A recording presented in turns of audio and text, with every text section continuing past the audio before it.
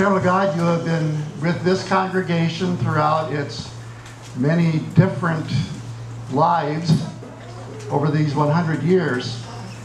Much of that time was spent around tables like these, breaking bread together. We break bread together in communion, which was done in this hall for many years before the sanctuary was built. We break bread together on a regular basis in this congregation. It seems that as we gather over food, we think of you, we think of other people, and we think of the needs of others as well. Today we think of the needs of others as well as celebrating this wonderful 100 years. We thank you for your many gifts to us gifts of food, of the ability to earn money so that we can buy food. We thank you for those who produce food in our community and throughout the whole world. We thank you now for blessing us this morning and ask your blessing upon us now as we share around these tables through Christ who strengthens us. Amen. Amen. Uh, Nick?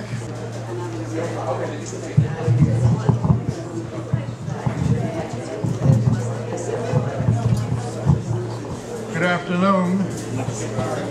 Again, I want to welcome all of you, all the visitors, members First Church. Thank you for coming out and helping us celebrate this uh, 100th anniversary. Uh, we're going to make some introductions now, uh, so be patient with us. Uh, we'll be eating soon. Judy? The main reason uh, that we're having introductions here uh, is that we did invite the mayor and the city council, the city of North Miami, uh, and we wanted to introduce them to you. But I don't see any members of them here. Do we have any mayors or city council folk here? If you're here, I don't see anybody. Mayor came during church? Yeah, he left.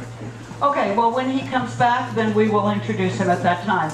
In the meantime, um, that, that was really basically all. Um, introduce yourselves at your tables. Um, and right now we have, uh, we have Shelley Reed, who is again going to play for us. What a blessing. Playing a piece called Chardas by Vittorio Monti. She is accompanied by Dr. Nelson Hall. You're awesome.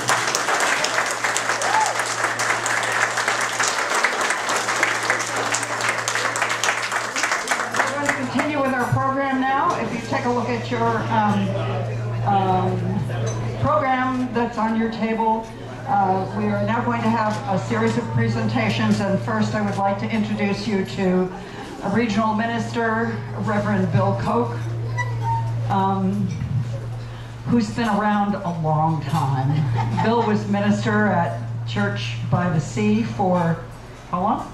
14. 14 years before going on the conference staff. Um, and as a staff member of the conference, he's one of the best they've ever had. Thank you, Bill. Thank you. As uh, those of you who are part of the United Church of Christ know, uh, we are a family. We believe in the autonomy of our churches because they're out there in that community and they know what they need to do, and you don't need people in other places telling them what to do. We believe in that, but we also believe that you can't be out there doing what you need to do if you're a lone ranger. That's really hard. And so covenant is very important.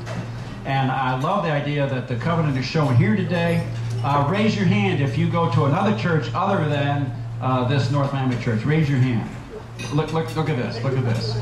This shows our covenant with this particular congregation this day. We're all in this together, and we certainly celebrate the uh, milestone that we're reaching today. And on behalf of you, you're going to hear from uh, Jan on behalf of the board of directors, but I wanted to uh, read you something uh, from uh, Kent Siladi, our Conference Minister, who was not able to be here today. Uh, a letter that he uh, asked specifically that I might be able to share with you. Mr. Dalton Nickerson, moderator and congregation of First Church North Miami. Grace and peace to you on this festive day as you gather as a church to celebrate the founding of First Church North Miami, one, congregational 100 years ago.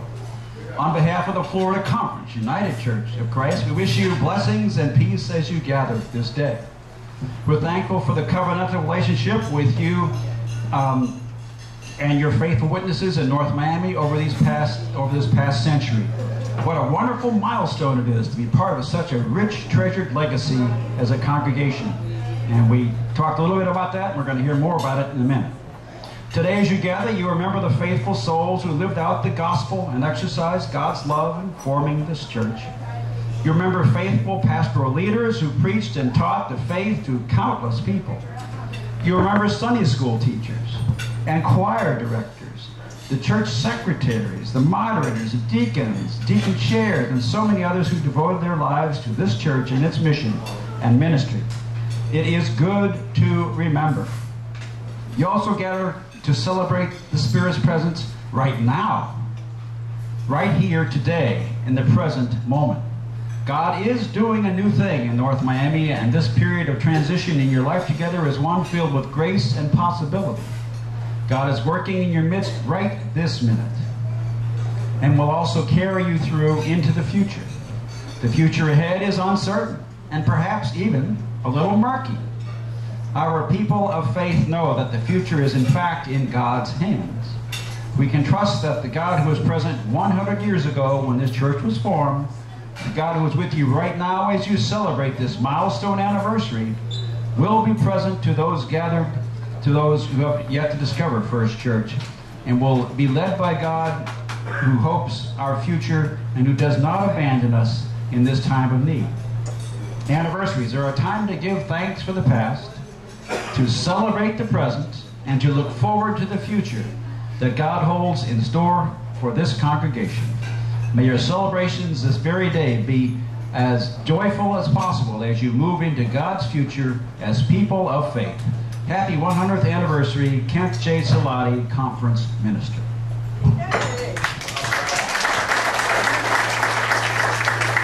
And I would ask the moderator, Dalton.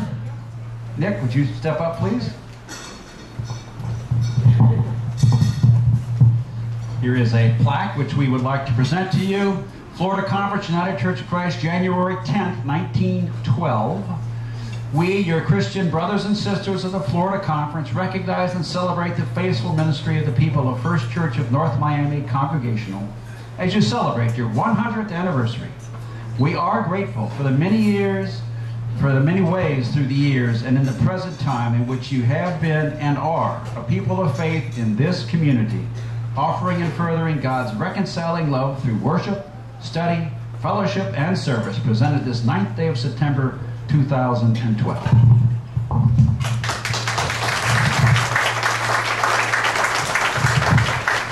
Thank you, Bill, and if you'll convey our thanks to the conference uh, as usual, uh, we would certainly appreciate it. Thank you much. I will move on then to Jan Steinberg, who will bring greetings to you from our Florida Conference Board of Directors. Jan?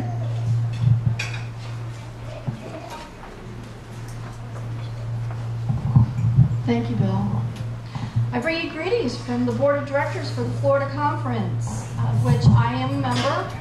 I'm on the executive board, and I'm a member at large.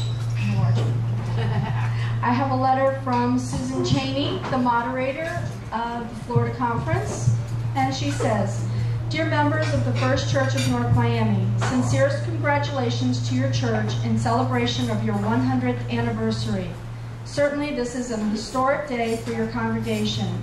I join with many others in the Florida Conference who may not be able to attend your celebration in person to wish you well and thank God for your faithful presence in the United Church of Christ. From meager beginnings, you have created a warm and welcoming place for anyone seeking Jesus to worship and find comfort, support, and friendship. God bless your church and God bless your congregation. May you enjoy many more decades of faithful service to the Lord and to the community. Peace and love, Susan Cheney, moderator, Florida Conference.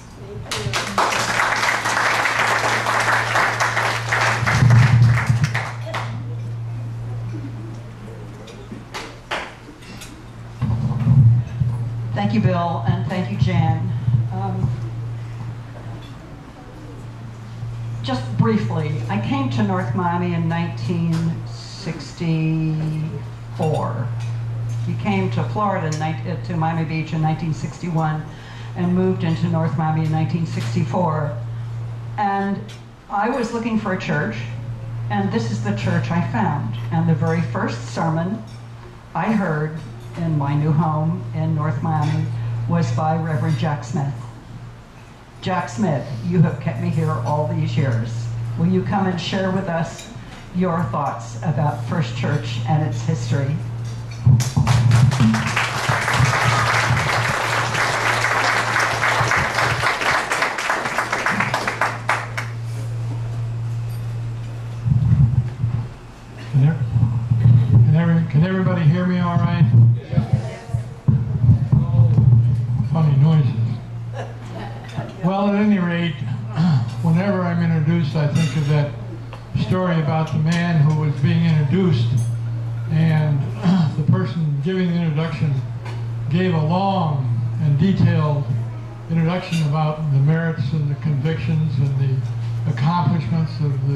Speaker and sat down and the speaker got up and said, thank you very much for the introduction, but you left out something. And he paused and he said, I was president of my first grade class for one year. then paused again and he said, for two years.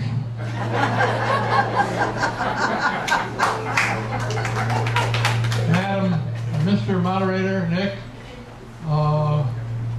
members of First Church of North Miami Congregational, UCC, uh, distinguished colleagues, Jack, Bill, Diane. It is uh, an honor and a pleasure for me to be here today to share the celebration of the 100th anniversary of this church. I will repeat something that Bill has already said, but it'll be very short, and this whole speech won't last over an hour. On January 10th, 1912, Reverend Neil McQuarrie sailed to Arch Creek from Key West, called a meeting to organize a church known as the Union Congregational Church of Arch Creek. Their motto was, One is your master, even Christ, all ye are brethren. With a grant of $500 from the Church Building Society, they were off and running. The Tomato Patch, which was host to about 200 people, had its first church. The first employee of the church was a janitor hired for 50 cents a week. A poet has written, Little of all we value here wakes on the morn of its hundredth year. Surprise, First Church is alive and well and serving the community. I'm very impressed with the newsletter, the Palm Fronds, whoever does that um, gets a vote from me. And the activities and the contents of that letter are very fine, and I hope it keeps on coming. Um, in 100 years, as it's been pointed out, hundreds of faithful Christians have made this church possible. Would that we had and could read all of their names. We salute them in the heavenly mansions. I do want to stop and pause just for a moment, though, to recognize the Christians who are here that were here when this uh, sanctuary and related buildings were built. Uh, my friends and those that shared in uh, my ministry, and I'm truly grateful. Would you raise your hand so we can see who you are?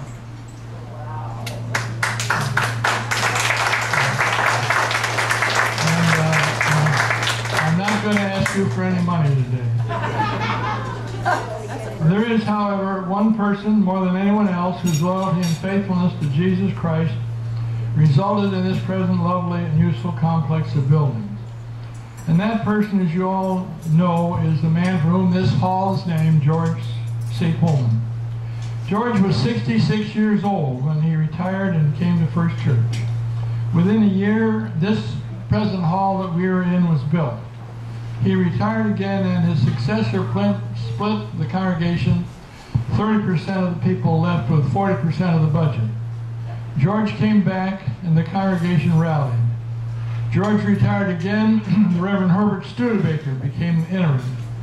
He also was in his 80s and had been the minister in Lake Worth. Meanwhile, George, at some point in this, had gone to Del- Delray Beach to start a new church. George was an excellent preacher. He was always prepared and preaching from a manuscript even though you were not aware of it. He never wavered in his desire to see that a new sanctuary was built. He encouraged me every step of the way. In 1961, shortly after I arrived, he wrote this. When church building gets into one's blood, he dare not let, quote, too poor, unquote, or this isn't the time, quote, unquote, get in the way. I have the feeling that the people need the chance to make real sacrifice so that someone who thinks of giving $100, $100 can dare himself to give a thousand. Well, anyway, I think, think you will find that some are quite ready to accept a great challenge when the time is right. Your ministry there will be blessed of God, and great days will be yours when the new sanctuary is ready. Hope I live long enough to see its reality, and indeed live long beyond that. George and Edith Pullman came to North Miami in the winter for a few years. Edith died, and George was heartbroken. He eventually married a lovely woman, a member of this congregation, Daisy Butler. After their marriage, George wouldn't call her Daisy. He went back to her real name, which was Maria, but we remember her as Daisy. I do not remember how many times George Pullman would send me a letter, and at the end of it, he'd say, Well, here's a check for $1,000 for the building fund. And every time he did this, he expressed the hope that others would do the same. Ultimately, he gave $10,000 in the form of a gift annuity. Dr. Pullman died in 1987 at the age of 99. Another person who played a major role in the building of the project was Gus Buckley and his wife Doris and five children. They came to Miami from Massachusetts. He was a salesman of institutional sewing machines. I'm fairly certain he had been a Catholic and not participated in church activities. I can still see him when he walked in this hall one day and came in and introduced himself. Yet, without uh, any hesitation, he spearheaded the fund drive for the new building. And during the construction of this complex, he was on the site almost every day. Well, there's one other person that has meant a lot to First Church, and she happens to be here today, and that's Dorothy Beck.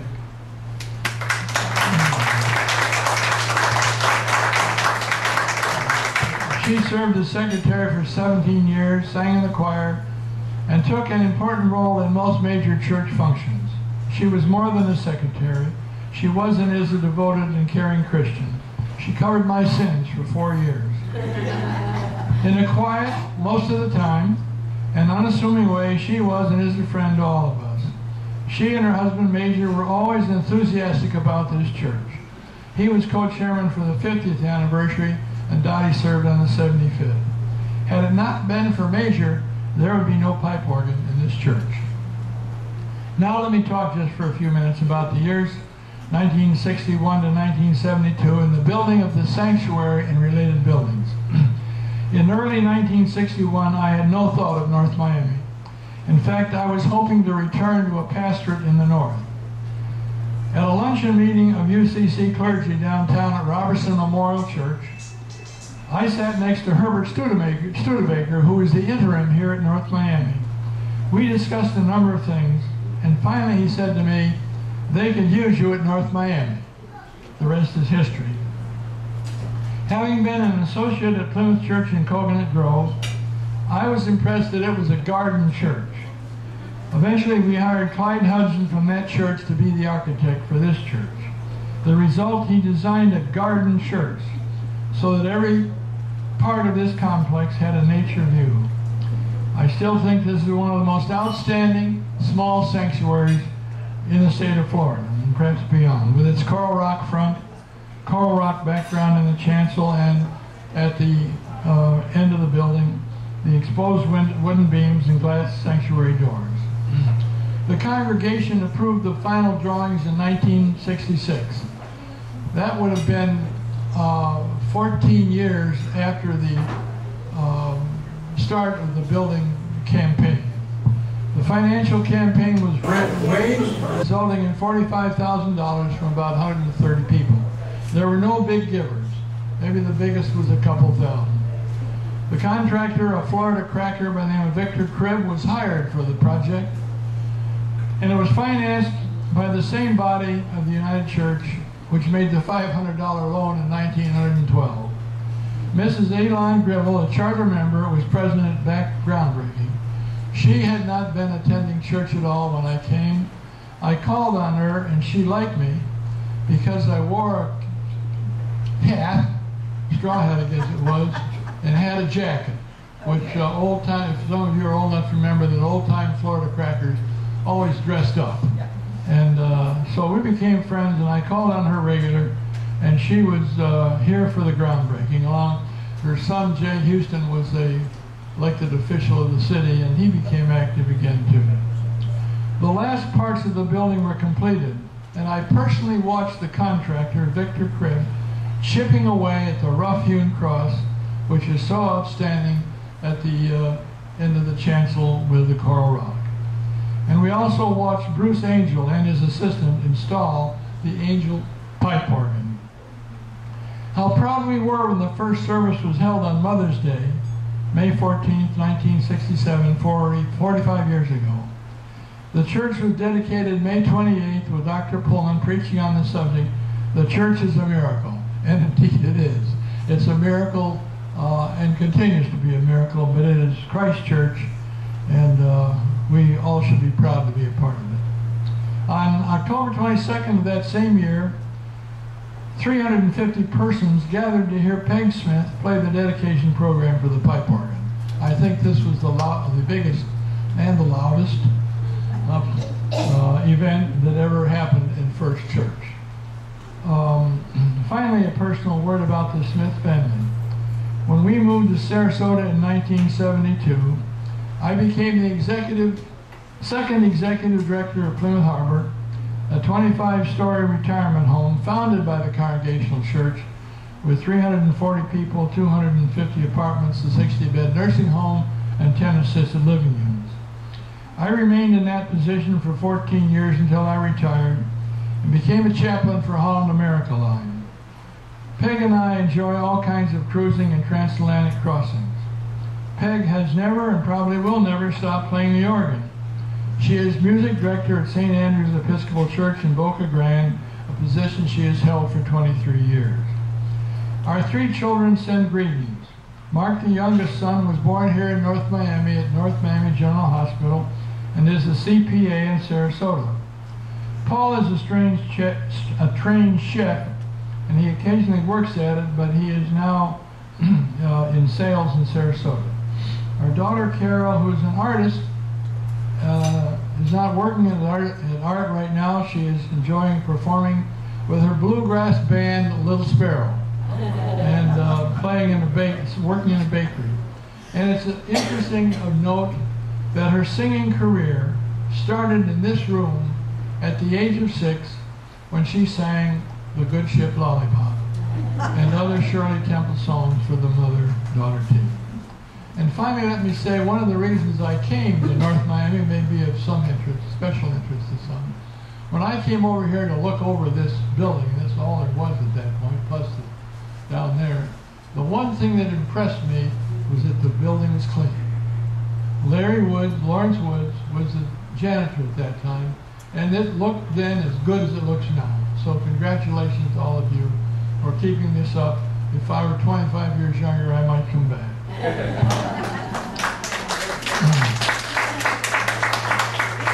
Thank you all for listening. Uh, if you have any questions about the building of this church or anything else that's uh, important, I would be glad to take them at this time. Well, should we take an offering then?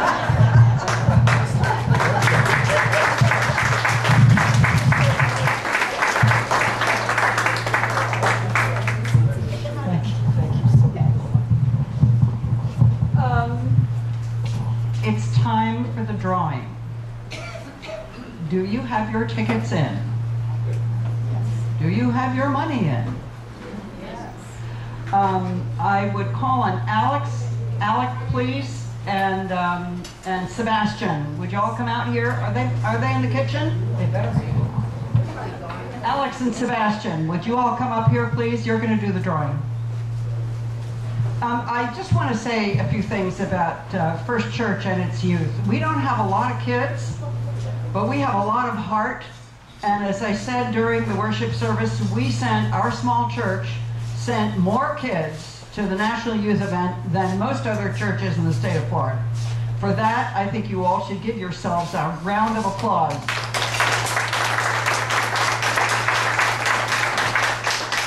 In, in writing Palm Fronds, um, the last issue is devoted pretty much to National Youth Event. Uh, I, uh, we printed all of Jan Steinberg, who is our youth minister, who is, uh, uh, walks on water as far as I'm concerned. Um, but going through all of the, the things that the, that the youth had written, I really, really had a hard time selecting the portions I was kind to you all. I really was because there's some stuff in there that that um, that right, right. At any rate, so we are still paying for this event, and because of that, we had uh, this. By the way, was designed and created by moi. Um, and, and donated for this exact purpose. So one of them is going to shake the plat- plate, uh, the bowl, and the other one is going to draw. So bring out your tickets. Hang on.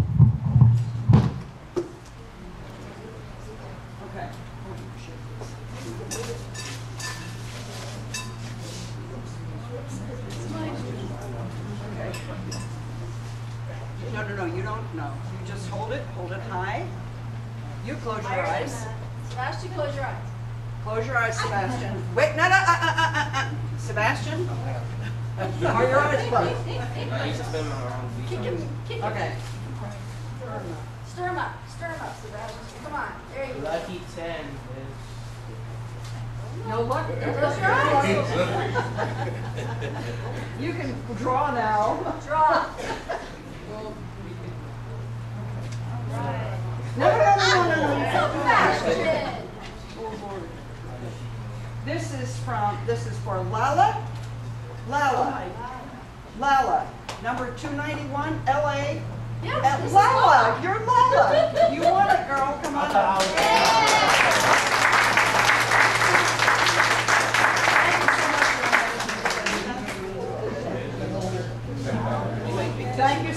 Thank you, Sebastian, and thank you, Alex.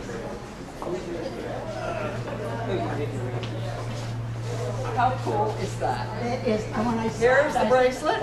It's perfect. Oh, it's beautiful. Here are the earrings. Do you have pierced earrings? I hope. Yes, I do. Okay. And here, I'm so glad you took your other jewelry off. There isn't wearing any. Thank you, Madam. There you are. Wear it in good health. Oh, I promise. I promise. Thank you, thank you Thank you very much. And thank you all for participating. Um, If you haven't seen the, our celebratory cake, please go take a look at it. You're about to get a piece. Let us pray.